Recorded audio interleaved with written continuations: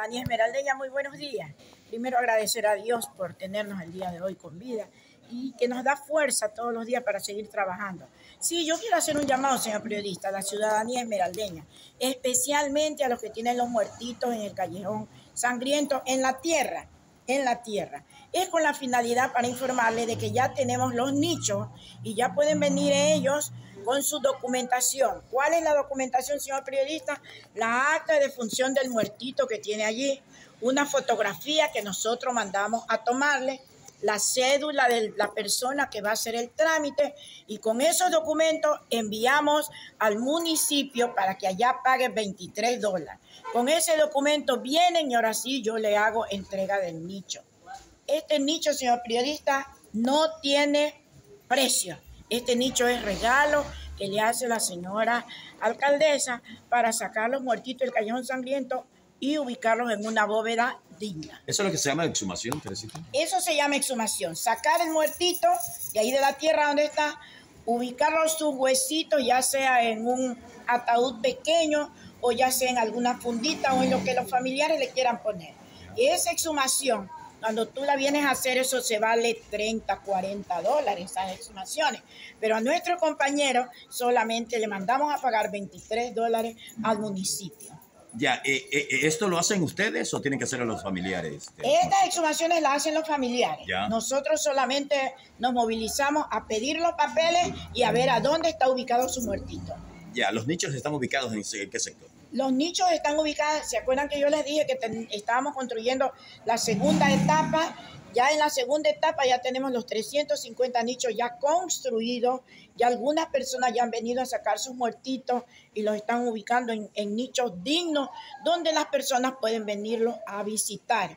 También estamos ya con las bóvedas. Las bóvedas ya mismo están terminadas para así ir entregando. Pero el que tiene cinco bóvedas le vamos a entregar tres bóvedas, dos nichos. El que tiene 10 bóvedas le vamos a entregar 6 bóvedas, 4 nichos. Tenemos que conversar, tener un conversatorio serio. Y si hay personas que dicen que no quieren ni los nichos ni las bóvedas, pues se quedarán allá sus bóvedas y sus nichos y se atenderán, se atienen a las consecuencias que después les va a pasar. Usted dice que por, los nichos hay que pagar 25 dólares en el municipio, ¿no? 23 dólares. 23 dólares. Por la eso se paga en el municipio. Ya eso no recibimos nosotros. Eso directamente le damos la documentación y la mandamos a pagar al municipio. ¿El mismo valor por las bóvedas? El, mismo valor por las bóvedas. El mismo valor es por, la sumación. Sí, eso se llama exhumación. Eh, Teresita, una vez que algún momento, y esperamos que sea pronto, se retiren todos los muertos que están en el callejón sangriento, ese lugar, ¿qué, qué pasa a hacer? Allí nosotros vamos con una tercera etapa, si Dios lo permite.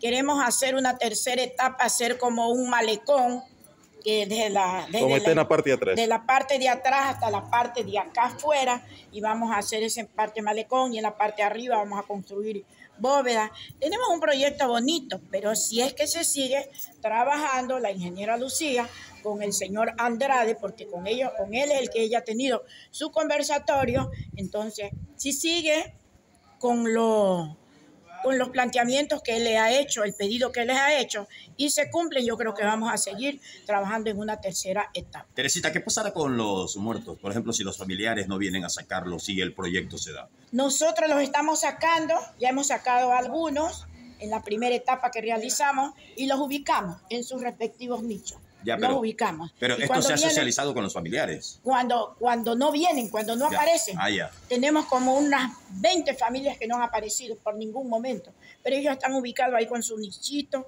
ahí están puestos ya sus nombres. Y nosotros en la estadística que llevamos, supongamos que alguien venga, que ay, que mi muerto de aquí no lo encuentro, lo revisamos y ahí inmediatamente, señor, en esta parte de aquí está su muertito. ¿Esto no le va a crear problemas a ustedes como administradores? Creo que no, porque en otras partes lo único que hacen es declaran eh, utilidad pública y le pasan el tractor y sus muertos se quedan abajo, como sucedió en esta calle principal. Para hacer esta calle principal, lo único que hicieron fue meter las maquinarias y los muertitos están allá abajo. En cambio nosotros lo estamos haciendo de otra manera, conversando con las personas que tienen sus muertitos ahí y se los estamos ubicando en bóvedas, en bóvedas donde digamos ellos puedan después venir a visitarlos.